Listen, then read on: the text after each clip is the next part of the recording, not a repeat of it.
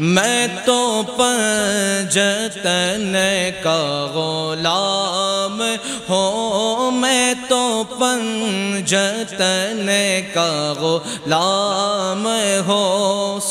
اللہ یہ ناز شریفر مین مقصد ہو تو پنجتن کا غلام ہو اور اسلام مدھے، کتاب مدھے پنجتن مان امر رسول پاک صلی اللہ علیہ وسلم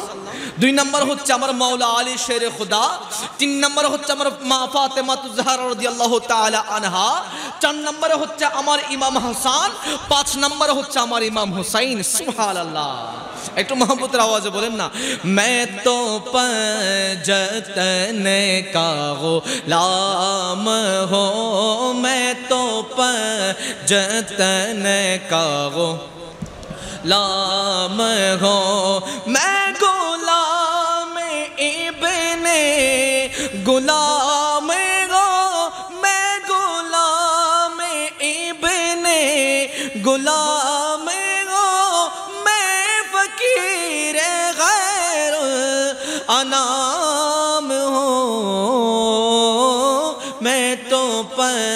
جتن کا غلام ہوں، میں تو پر جتن کا غلام ہوں۔ مجھے عشق ہے تو خدا سے مجھے عشق ہے تو رسول سے۔ یہ کرم ہے سارا، بطول مہکے صدا، جو میں نام لو تیرا جھوم کے۔ میں تو پنجتن کا غلام ہو میں تو پتن کا غلام ہو میں تو پتن کا غلام۔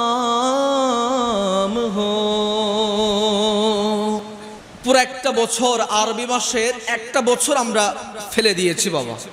মুরব্বী বাবারা, জোয়ান ভাইয়েরা, খেয়াল করবেন, আমরা মুসলমান, আমাদের ধ্যানের মধ্যে সব সময় থাকার কথা, আরবি মাসের তারিখগুলো কথা বলেন ঠিক কিনা? কিন্তু আমার একজন ভাইকে যদি জিজ্ঞেস করি, আজকে আরবি মাসের কত তারিখ বা আজকে আরবি মাসের কত কততম জমা? জিলহজ মাসের পরে কি মাস? জিলহজ মাস কততম মাস? বলতে পারবে না। কিন্তু যখন জিজ্ঞেস করব, একটু ইংরেজি মাসগুলো বলো না বাবা। বাংলা মাসগুলো বলো না বাবা। একাধারে এক নিঃশ্বাসে বলে দিবে, আছে না নাই? কিন্তু আরবি মাসের কথা বললে? এটা আসলে নেচারের কারণে, পরিবেশের কারণে এনভায়রনমেন্টের কারণে এটা আমাদের চেঞ্জ করতে হবে। আমাদের সর্বপ্রথম আমাদের মাইন্ডে রাখতে হবে আমরা মুসলিম পরিবারের সন্তান। এখানে কি অন্য পরিবারের কেউ আছে নাকি? হিন্দু, খ্রিস্টান, বৌদ্ধ কেউ আছে এখানে? সবাই তো মুসলমান। মাথায় রাখতে হবে আমরা মুসলমান ঘরের সন্তান।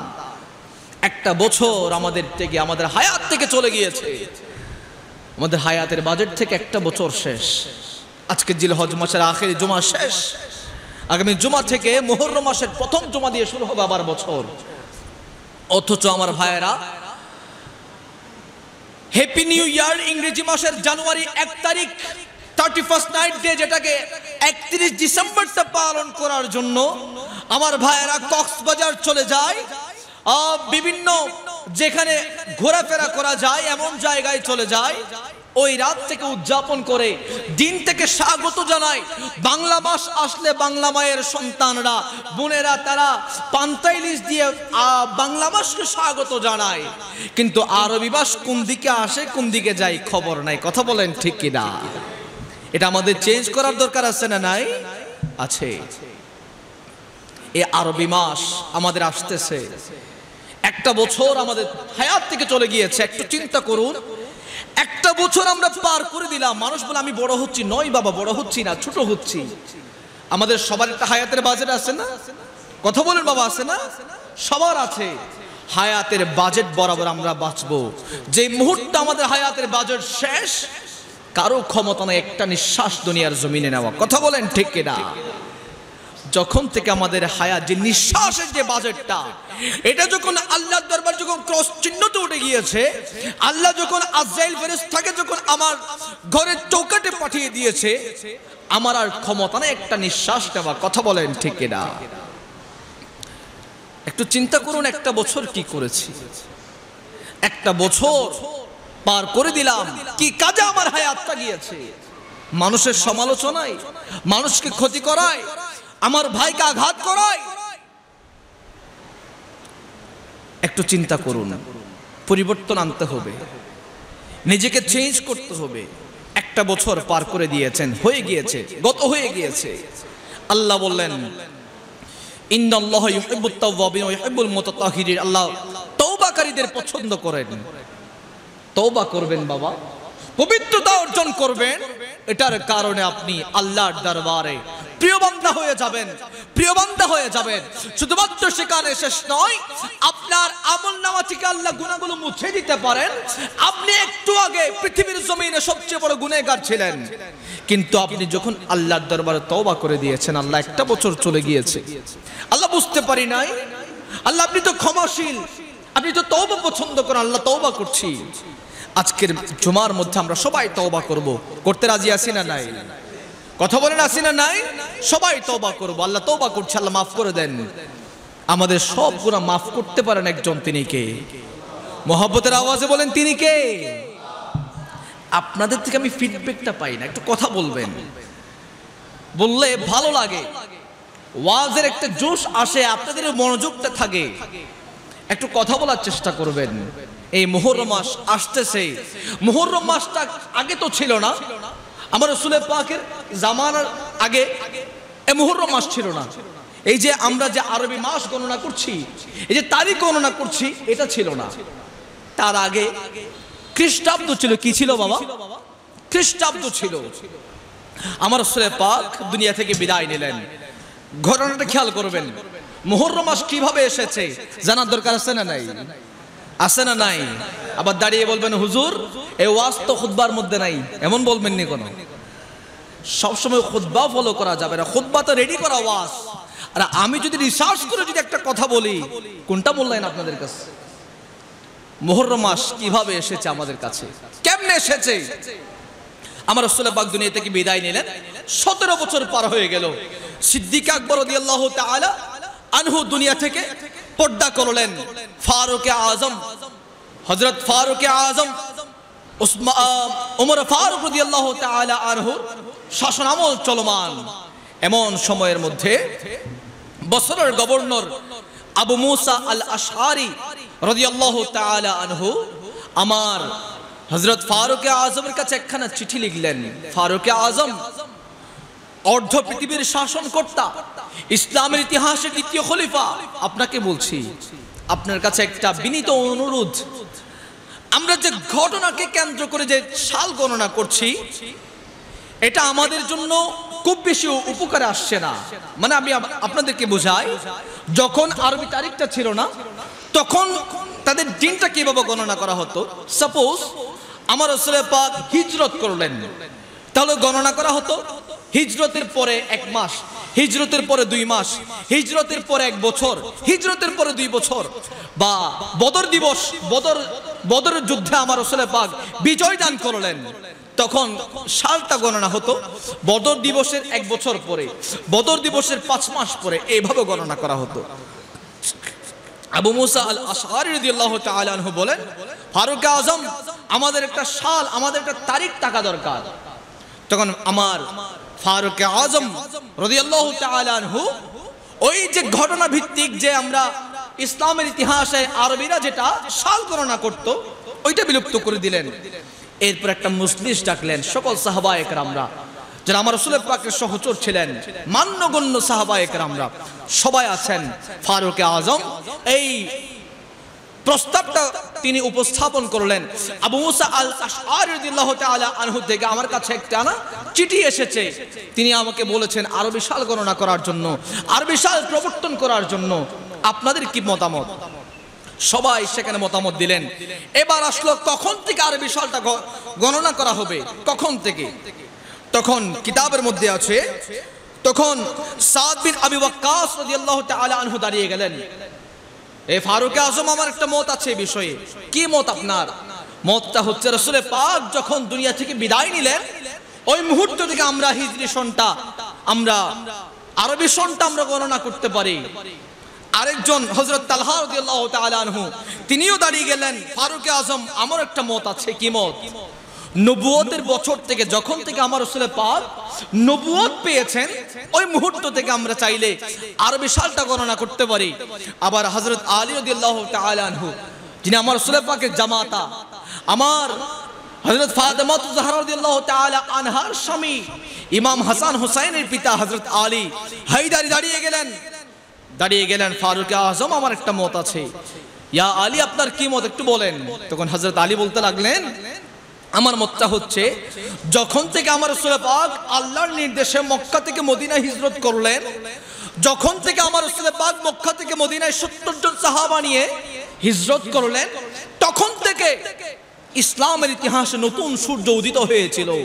আপনারা জানেন, আমার রসুল পাক মক্কার মধ্যে অনেক বেশি কষ্ট করেছেন। মক্কার মধ্যে নিজের হায়াতটাকে ইনভেস্ট করেছেন। মক্কার মধ্যে নিজের সময়টাকে ইনভেস্ট করেছেন। ইসলামের জন্য ইনভেস্ট করেছেন। এই ইনভেস্টের ফলটা পেয়েছেন আমার রসুল। মদিনে মুনব্বরায় গিয়ে, সুবহানাল্লাহ। মদিনে মুনব্বরায় যখন গেলেন, ওই মুহূর্তটাকে, ওই মুহূর্ত থেকে হিজরতের সালটা গণনা করার জন্য হজরত আলী বললেন, সবাই হজরত আলীর এই মতটাকে গ্রহণ করলেন। এরপর থেকে হিজরি সন এভাবে গণনা করে করে এই পর্যন্ত এসেছে। এখন কিতাবের মধ্যে আছে, আপনি ইংরেজি মাস মনে রাখেন, সবাব নাই। মনে না রাখেন, গুণা নাই।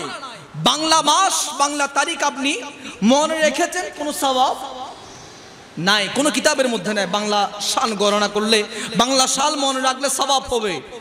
বাংলা সাল মনে না রাখলে গুণা হবে কোনো কিতাবে নাই। কিন্তু কিতাবের মধ্যে আছে, আপনি যদি আরবি মাস যদি আপনার মনে না থাকে, অর্থাৎ যেটা আরবি মাসটা মনে রাখা, ফরজে কেফায়া। কি বলেছি বাবা? ফরজে কেফায়া। জানাজার নামাজের মতো। পুরো এলাকার মধ্যে কমপক্ষে একজনের মনে রাখতে হবে। কয়জনের বাবা? একজনের মনে রাখতে হবে আরবি সালটা, আরবি তারিখটা। যদি একজনেরও মনে না থাকে, তাহলে সবাই গুণাগার হবে, সবাই গুণাগার হবে। এবার বলেন, আরবি মাস, আরবি তারিখ আমাদের জানা, আমাদের সব সময় স্মরণে থাকার দরকার আছে না নাই? আছে। জিজ্ঞেস করতে পারেন, হুজুর, আল্লাহর ভাষা আরবি হলে আমাদের ভাষা বুঝেন কেমনে? আল্লাহ সকল ভাষা বুঝেন সব কিছু বুঝেন, আল্লাহ জানেন। কিন্তু আল্লাহর প্রিয় ভাষা আরবি, কারণ আল্লাহ তো চাইলে পবিত্র কোরআন করিম, ফুরকানুল হামিদকে বাংলা ভাষায় নাজিল করতে পারতেন। ইংরেজি ভাষায়ও নাজিল করতে পারতেন। আল্লাহ আরবি ভাষায় কেন দিয়েছেন? এটার মাধ্যমে এটা বোঝা যায়, আল্লাহর কাছে আরবি আরবি বিষয়টা, আরবি ভাষাটা আল্লাহর কাছে সবচেয়ে বেশি প্রিয়। মোহাম্মতের আওয়াজে বলেন না সুবহান আল্লাহ তারিখটা মনে রাখার চেষ্টা করবেন। আরবি মাসগুলো মনে রাখার চেষ্টা করবেন, মনে থাকবে কেমনে? আমরা তো আরবি, আরবিটাকে আমরা দূরে স- সরিয়ে দিয়েছি। হুজুরের বেতন পাঁচশো টাকা, ইংরেজি টিচারের বেতন দুই হাজার টাকা। কেমনে হবে বাবা? মক্তবে পড়াচ্ছে মাসে একশো টাকা, আর টিচারের কাছে গেলে মাসে এক হাজার টাকা। দশ ভাগে আপনি ভাগ করে দিয়েছেন। ইংরেজি ইংরেজি সাবজেক্ট পড়ালে, আরবি সাবজেক্ট পড়ালে এই আরবিটাকে আপনি ইংরেজির থেকে দশ ভাগের এক ভাগ নিয়ে এসেছেন। সমাজ পরিবর্তন হবে কীভাবে? ইসলামী আদর্শ সমাজের মধ্যে প্রচলন হবে কীভাবে? ইসলামী আদর্শ সমাজের মধ্যে চলমান থাকবে কীভাবে? ছোট ছোট বাচ্চারা মুহররম, সফর, রবিউল আউয়াল, রবিউল সানি, আরবি মাসের এই নামগুলো মনে রাখবে কীভাবে? দুষ্ট আমাদের। কথা বলেন ঠিক কিনা? মূল তো আমরা আমরা গার্ডিয়ানরা সংশোধন হতে হবে। যা হয়েছে, হয়ে গিয়েছে। এখন থেকে গুরুত্ব দেন। সন্তানকে যদি সন্তানকে যদি সুশিক্ষায় শিক্ষিত করতে না পারেন, তাহলে আপনার বিষয় কি হবে জানেন?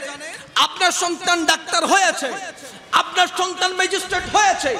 আপনার সন্তান বড় পুলিশ অফিসার হয়েছে। আপনার সন্তান নাম করা মানুষ হয়েছে। মোরা পুরো নাম করা ব্যক্তি হয়েছে। কিন্তু আপনার ঠিকানাটা তার পাঁচতলা বিল্ডিং এ হয় নাই।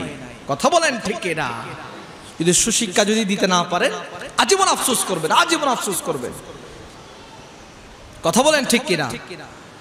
সুশিক্ষা দান করবেন, অল্প শিক্ষায় শিক্ষিত করেন, কিন্তু সঠিক শিক্ষাটা দিবেন। সন্তানকে যদি হক হালাল শিখাই দেন, সন্তানকে যদি ভালো খারাপ শিখাই দেন, এই সন্তান আগামী দিনের হবে সূর্য সন্তান। কথা বলেন, ঠিক কিনা? আল্লাহ আমাদের সবাইকে এসব বিষয়গুলো মনে রাখার তৌফিক দান করুক, আমিন বলেন। বা শরীফের মধ্যে একখানা আয়াত করিমা এসেছে, যেখানে আল্লাহ পাক রব্বুল আলামিন বলছেন, ইন্না রব্বাকুমুল্লাহ নিশ্চয়ই তোমাদের প্রভু আল্লাহ। আমাদের প্রভুকে আল্লাহ, এটা আল্লাহ স্মরণ করিয়ে দিচ্ছেন। আল্লাযী খালাকাস সামাওয়াতি ওয়াল আরদা। আল্লাযী খালাকাস সামাওয়াতি ওয়াল আরদা ফি সিত্তাতি আইয়ামিন। পবিত্র আল্লাহ পাক রব্বুল আলামিন আসমান এবং জমিন সৃষ্টি করেছেন মাত্র কয়দিনে বাবা? হিসাব জানেন না মনে হয়। কয়দিনে? ছয় দিনে আমার আল্লাহ পাক রব্বুল আলামিন ওই আসমান এবং জমিন সৃষ্টি করেছেন। কয় দিনে বাবা? ছয় দিনে। এবার আসেন, এই দুনিয়ার জমিন সৃষ্টি হতে ছয় দিন সময় লেগেছে। এই দুনিয়ার জমিনটা ধ্বংস হতে কয় সেকেন্ডের প্রয়োজন। এক সেকেন্ডের প্রয়োজন, কথা বলেন ঠিক কিনা? কয় সেকেন্ডের প্রয়োজন, বাবা? মাত্র এক সেকেন্ডের প্রয়োজন পুরা এই পৃথিবী ধ্বংস হওয়ার জন্য। এর মাধ্যমে আল্লাহ এটা বুঝিয়েছেন, বানাইতে কষ্ট হয়, সৃষ্টি করতে কষ্ট হয় ক্রিয়েট করতে কষ্ট হয়। সেটা ভাঙতে বিন্দু পরিমাণ সময় লাগে। না। ইজ্জত, সম্মান। আপনি একটা সম্মানের অধিকার হয়েছেন এটা একদিনে হন নাই। আপনাকে মানুষ আলেম বলছে। আপনাকে মানুষ আলেম বলছে, ডাক্তার বলছে, ইঞ্জিনিয়ার বলছে। আপনি তো আর একদিনে ইঞ্জিনিয়ার হন নাই। হয়েছেন? একদিনে কেউ ইঞ্জিনিয়ার হয়েছে? হয় নাই। আপনারা আমার কথা বুঝতেছেন না মনে হয়। কথা কি বেশি কঠিন হয়ে যায়? কিতাবের কথা। বুঝিয়ে বলছি, উদাহরণ দিয়ে। একদিনে কেউ ডাক্তার, ইঞ্জিনিয়ার, আলেম হয় নাই। সময় লেগেছে, কিন্তু আপনি একখানা অপকর্ম করেন তো, আপনার এই বিশ, তিরিশ, চল্লিশ বছরের কেরিয়ার বিশ, তিরিশ, চল্লিশ বছর এই হায়াত, বিশ, তিরিশ, চল্লিশ বছরের সম্মান, ধ্বংস হতে এক সেকেন্ড সময় লাগবে? না, সেই জন্য সবাই সতর্ক থাকবেন। এই কাজগুলো থেকে আল্লাহ আমাদেরকে এটা বুঝিয়েছেন। আল্লাহ বলেছেন, আমি পুরো পৃথিবী জমিন আসমান জমি সৃষ্টি করেছি ছয় দিনে। এই দুনিয়া সৃষ্টি করেছি ছয় দিনে, কিন্তু ধ্বংস হতে একটা মুহূর্ত লাগবে। ইস্তাফিল আলহিসাম তিনি অপেক্ষা করছেন, কখন আল্লাহ পাক রব্বুল আলামিন বলবে ইস্তাফিল সিংগায় ফুক দাও সিংগায় ফুক দিবে, ফুক দিতে দেরি। দুনিয়াটা উলুট পালট হতে দেরি হবে না। এরপর আমার আল্লাহ পাক রব্বুল আলামিন বলছেন ثم استوى على العرش يدبر الامر ما من شفيع الا من بعد اذنه আমার আল্লাহ পাক রব্বুল আলামিন বলছেন এরপর তিনি আরশে আজিমে অধিষ্ঠ হন এবং কিয়ামতের ময়দানে আল্লাহ যাকে ক্ষমতা দিবেন না আল্লাহ যাকে ইশারা করবেন না সে কখনো সুপারিশ করতে পারবে না। আর আমার রসুলের পাক সাল্লাল্লাহু আলাইহি ওয়াসাল্লাম বলছেন, আমার রসুলের পাক সাল্লাল্লাহু আলাইহি ওয়াসাল্লাম বলছেন, কিয়ামত এটা হচ্ছে আবু দাউদ শরীফের হাদিস। কিয়ামতের ময়দানে, কিয়ামতের দিবসে আমার রসুলের পাক বলছেন, আমি হব সকল নবী রাসূল সহ সকল নবী রাসূলদের উম্মতদের সর্দার। সুবহানাল্লাহ। কে বলছেন? আমার রসুল বলছেন। এরপর বলছেন, আমার রসুল বলছেন, সর্বপ্রথম কেয়ামতের ময়দানে আমি রসুল উঠব। এবং আমি প্রথম সুপারিশকারী হব যে সুপারিশ আল্লাহর দরবারে গ্রহণযোগ্য হবে। মোহাব্বতের আওয়াজে বলেন না সুবহান আল্লাহ আর তো মোহাব্বতের আওয়াজে বলেন সুবহান আল্লাহ রাসূলে পাক বলেছেন, ওই ব্যক্তির জন্য সুপারিশ হবে। আমি রসুল ওই ব্যক্তির জন্য, মানুষ আমার উম্মতের জন্য সুপারিশ করব। কেয়ামতের ময়দানে শুধুমাত্র আমি রসুলের সুপারিশ সর্বপ্রথম যে সুপারিশ আল্লাহর দরবারে কবুল হবে, মঞ্জুর হবে, মোহাব্বতের আওয়াজে বলেন না সুবাহ আল্লাহ সে নবীর সুপারিশ পাবেন। আপনি কি মনে করছেন? নামাজ পড়তে পড়তে কপাল দাগ করে ফেলেছেন, সাদা জুব্বা পরে ফেরেস্তার মতো চলাফেরা করছেন, এটা দিয়ে আপনি জান্নাতে যেতে পারবেন? নয় নয় নয়। আমার রসুলের পাকের সুপারিশ যদি নসিব না হয় মক্কা মদিনার ইমামও যদি হন, রসুলের পাকের সুপারিশ যদি না হয়, তাহলে আল্লাহর কাছে আপনার আমলগুলো গ্রহণযোগ্য হবে না। রসুল পাক কার জন্য সুপারিশ করবেন? যারা আল্লাহকে ভালোবেসেছে, রাসূলকে ভালোবেসেছে, যারা আল্লাহর পথে ছিল রসুল পাক যে পথ আমাদেরকে দেখিয়ে দিয়েছেন, সেই পথে ছিল কেয়ামতের ময়দানে তারাই তো সেই সুপারিশের যোগ্য হবে। মহাব্বতের আওয়াজে বলেন না, সুবহানাল্লাহ। যেই নবী তেষট্টি বছর হায়াতের জিন্দেগি পার করে দিয়েছেন আমাদের কথা বলে। আর তুমি বান্দা, মক্কায় যাচ্ছ, হজ করতে মদিনায় যাও না। তুমি কেমন রসুলের উম্মত? কেমন উম্মত? রসুলে পাক বলছেন মানজারা কবরি ওয়াজাবাত লাহু শাফাআতি যে ব্যক্তি আমি রসুলের রজা মুবারক জিয়ারত করেছে, আমি রসুলের উপর, তার উপর তার জন্য সুপারিশ করা ওয়াজিব হয়ে যায়, তথা, ইয়ানি আমি তার জন্য সুপারিশ করব। সুপারিশ পাওয়ার জন্য হলেও তো রসুলের পাকের দরবারে যাওয়ার দরকার আছে না নাই? রসুলের পাক, আমার আল্লাহ পাক রব্বুল আলম পবিত্র কোরআনের মধ্যে বলছেন, তোমরা যদি তোমরা যদি নফসের সাথে তোমরা নফসের কারণ, নফসের তাড়নায় পরে তোমরা পাপ কাজ করে ফেলেছো। নফসের তাড়নায় পরে তোমরা খারাপ কাজ করে ফেলেছো। তাহলে তোমাদের জন্য আমরা, আমি আল্লাহ একটা পথ রেখে দিলাম। আমার রসুলের কাছে যাও, আমার রসুলের কাছে যাও, আমার রসুলের কাছে যদি যাও, সেখানে গিয়ে যদি তোমরা যদি ক্ষমা চাও, আমি আল্লাহ ক্ষমা করতে পারি। শুধুমাত্র সেখানে শেষ নয়, রাসূল যদি তোমার তোমার জন্য সুপারিশ করে, আমি আল্লাহ সেই সুপারিশ গ্রহণ করতে পারি, মহাব্বতের আওয়াজ বলে সুবহান আল্লাহ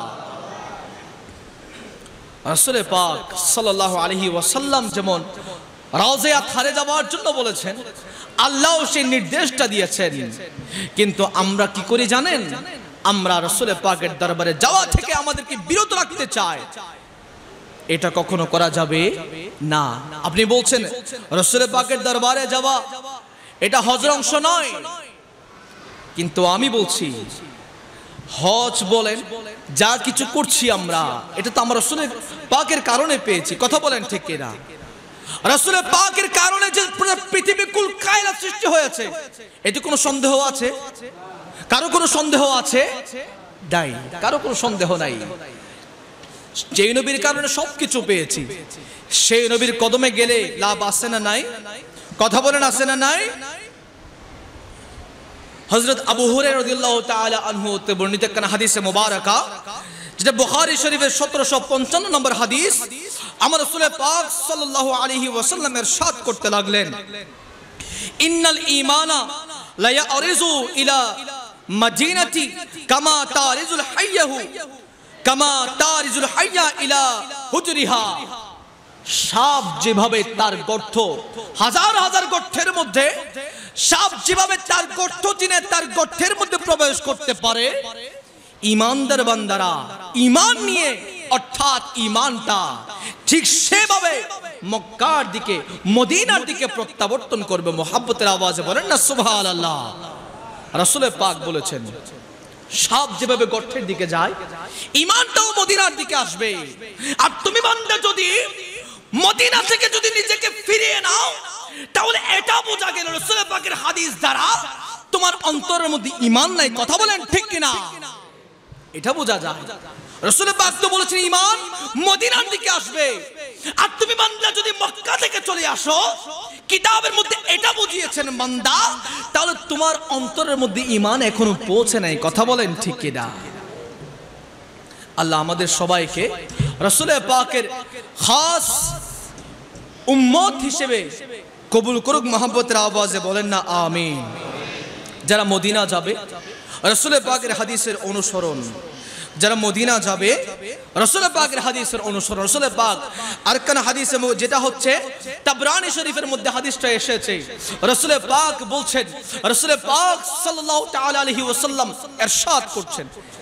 যে ব্যক্তি মদিনা শরীফ শুধুমাত্র আমি রসুলের রওজিয়া থার জিয়ারত করার জন্য আসবে যে ব্যক্তি শুধুমাত্র মদিনা শরীফে আমি রসুলকে দেখার জন্য আসবে, আমি রসুলের সোনালি জারি জিয়ারত করার জন্য আসবে, কেয়ামতের ময়দানে কেয়ামতের ময়দানে আমি রসুল তার জন্য সুপারিশ করব, মোহাব্বতের আওয়াজে বলেন না, সুবহানাল্লাহ। মান জারা কবরি ওয়াজাবাল্লাহ শাফাআতি, এটাও একটা হাদিস, এটাও হাদিসে মোবারকা। রাসূলের পাক বলেছেন আমাদেরকে মদিনা শরীফ যাওয়ার জন্য ইমান তো মদিনায়। ইমান কোথায় বাবা? আর বাজানো নবুজার ফানলার সিরিঙ্গা হদা হইম না হনো? ইমান কোথায়? মদিনা শরীফে।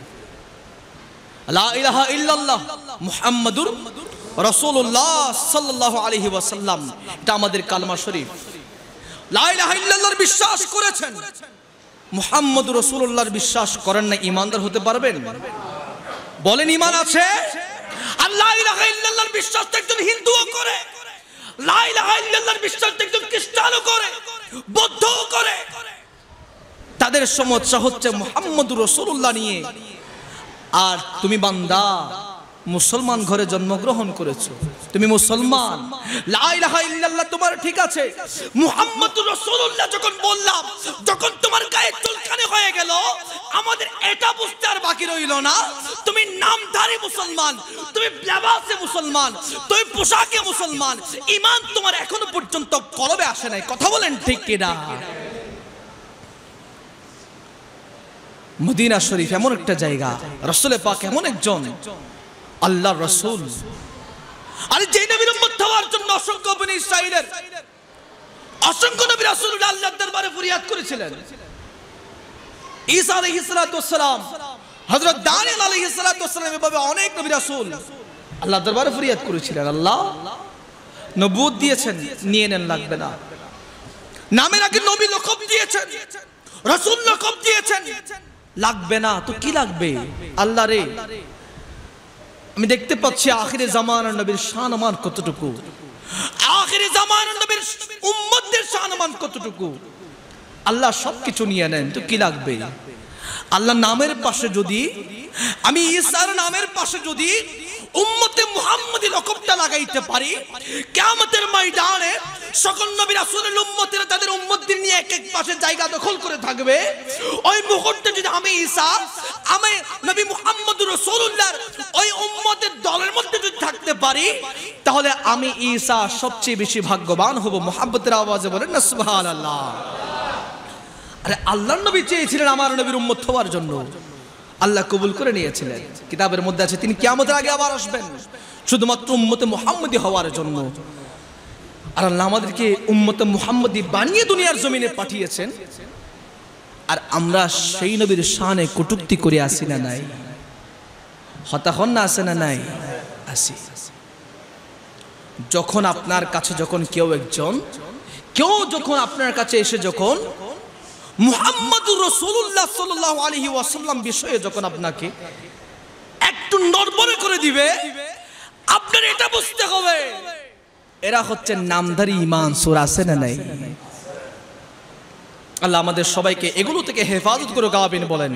রসুলের পাকের প্রেম অন্তরে নিঃস্বার্থভাবে ধারণ করার তৌফিক দান করুক, আমিন বলেন।